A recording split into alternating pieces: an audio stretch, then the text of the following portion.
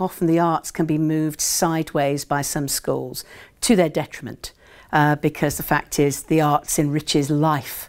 You have to get over the whole we're fighting to get an examination pass and remember actually what you're working with are human beings who are going to become adults and they will need rich lives.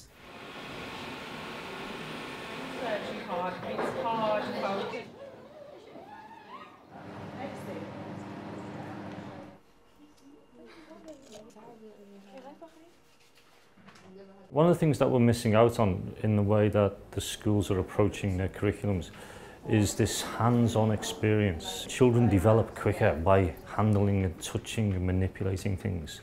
And as we move very much to a screen-based education, then 5, 10, 15 years from now, we have a societal problem. So the CPD for this project, um, it was over quite a number of weeks. Um, so over those weeks, we did quite a range of different um, skills and techniques. Um, some of which I knew already because um, I have got a, a long-standing interest in clay, in clay and ceramics. Um, but there was a lot of uh, new techniques that I learned whilst I was on the, on the course. Being um, back in the ceramics environment with all these incredible facilities, we were just so excited. We were like, this is what it's about. We haven't actually had any CPD to do with, with, with skills, developing skills. So this is the first time that I feel like I've actually developed a skill which I could use within the curriculum to enhance it.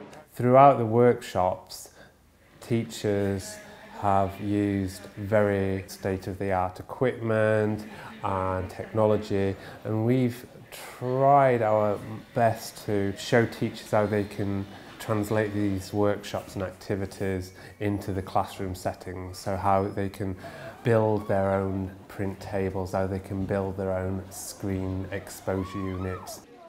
The way this project was uh, structured it, it allowed the students to, to have more freedom to, to make mistakes and uh, if, if they do make a mistake that can be incorporated into their work. For art there's no right or wrong answer so you can make your own decisions but for subjects such as like maths, science there's always one straight answer.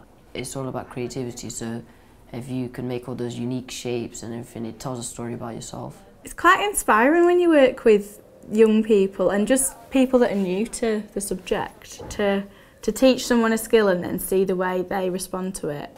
You always see people working with it in a different way, I guess.